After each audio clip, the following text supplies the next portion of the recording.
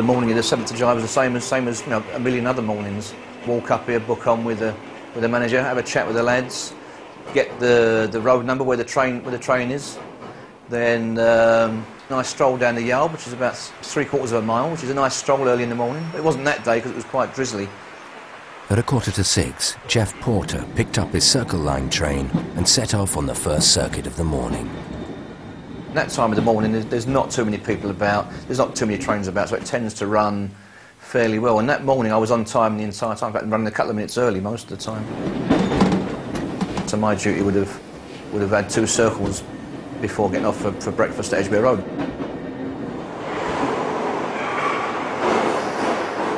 Gary Stevens is a duty station manager at Russell Square. I started work at approximately half past seven. It was um, on the way in, a normal day really. Just looking, coming in, thinking, planning my day as it was an early term. Thanks a lot. Gary's first job of the morning was dealing with a faulty Piccadilly line train. I then come upstairs, started my uh, normal office band duties. It was a, a, a quiet morning, and um, and so, in fact, it was boringly quiet. Celia Harrison was supervising the station at Aldgate. It's just an office, it's not really a control room. That's where I was. We have two screens. We also have a, a computer with something called tracker on it, which indicates which trains are where, what the train numbers are, um, so we can see how far away our next train is and can match up the drivers with the correct trains.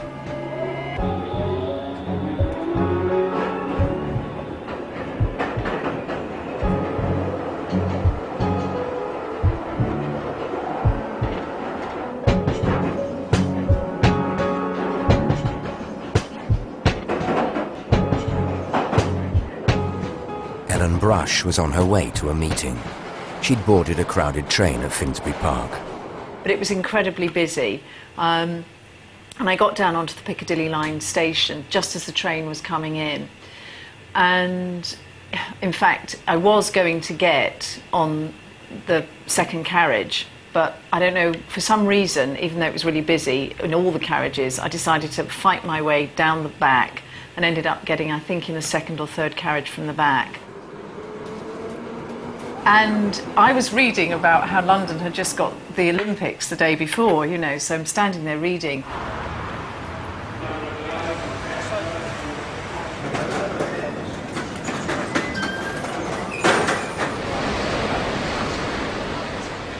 During the morning rush hour, London Underground operates over 500 trains on 12 lines. Any problems on the system are reported to the Network Control Centre, where the response is coordinated. Darren McCluskey was the manager on duty that morning. Reasonably normal morning, you know, the Northern Line was suspended. On top of that, we had a defective train on the Piccadilly line at Caledonia Road on the eastbound. While that incident was going on, we had another train on the Bakerloo line at, oh, I can't remember now, Piccadilly Circus that became defective. So all this was all going on at the same time.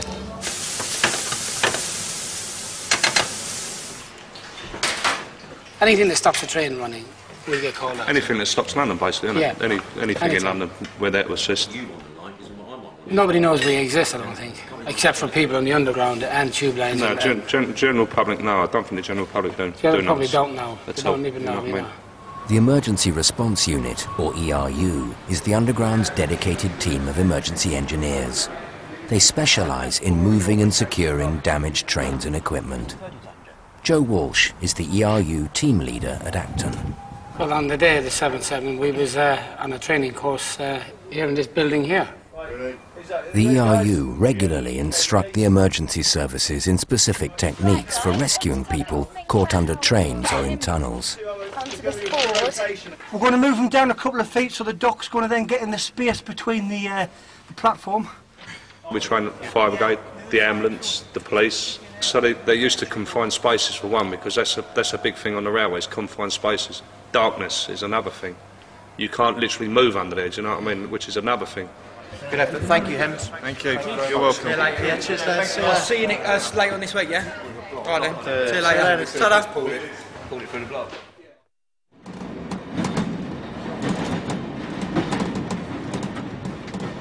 It's quite a long time. I mean, I've been on the train since probably about half past five when I've actually jumped on it and started to prepare it till this is, this is 10 to 10 to 9, so that's quite a, a little a pe- period of time.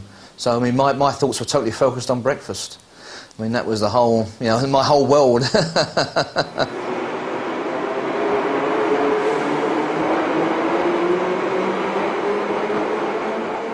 The train left King's Cross, and I can remember thinking, oh, thank God, it's only two more stops until Holborn and I can change.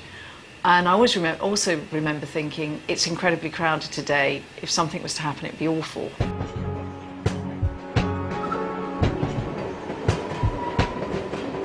Between Paddington and Edgware Road, the Circle Line intersects two other lines at Praed Street Junction.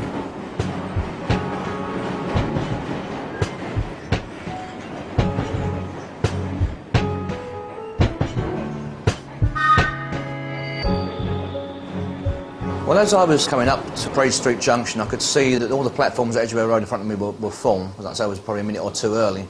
So there were two District Line trains in the, in the two middle platforms, and there was a, uh, an eastbound train in, in platform one. So as I was coming up to the signal that protects the platforms, I was, I was slowing down for it and uh, getting ready to stop. And I saw an inner rail Circle Line train leaving from platform four on Edgware Road. You can't actually see the platform, but I saw it come around the corner thinking back, I think it, it, didn't. It didn't seem something not quite right as it was. As it was but I couldn't couldn't say what it was.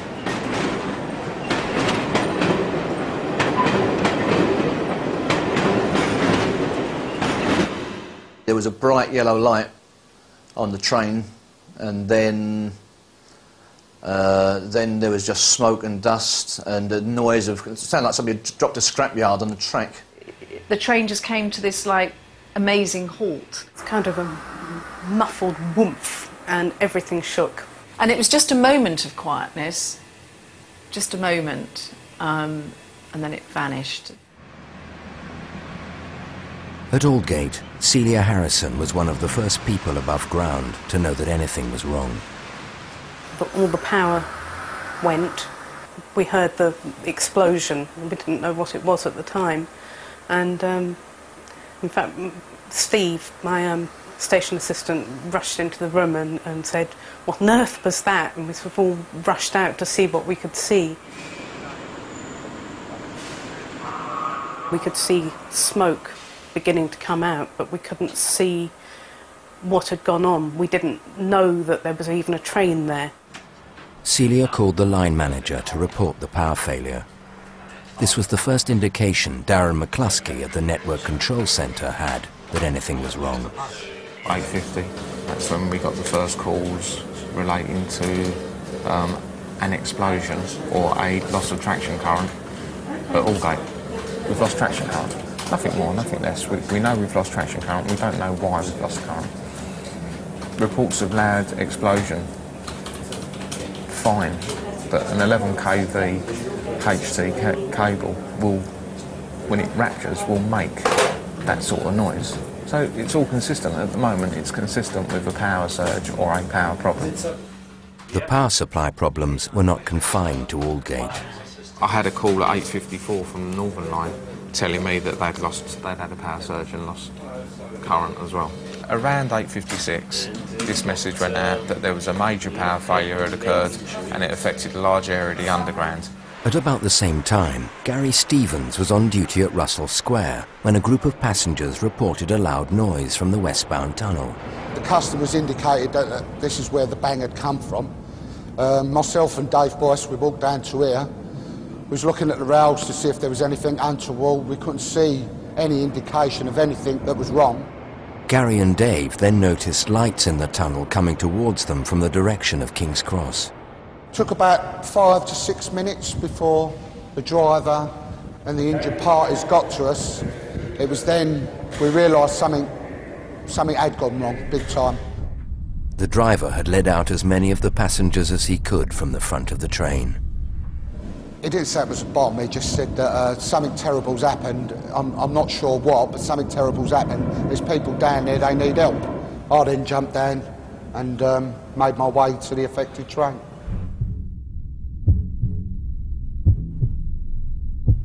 Once we got to the train, he, I instantly realised that something terribly had gone wrong. And um, right in front of me, there was a young lad who'd had his leg blown off.